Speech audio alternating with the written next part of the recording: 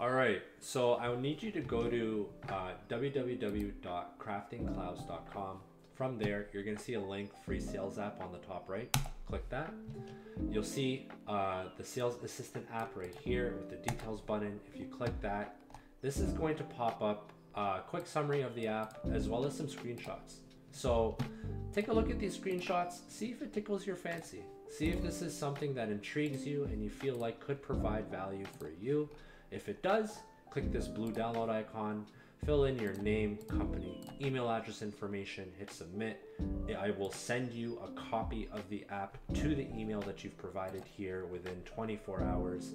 Within that email, you will also receive video instructions on uh, initial setup for the app. It should only take around 5 to 10 minutes. After that, you'll be in the app and ready to use it okay?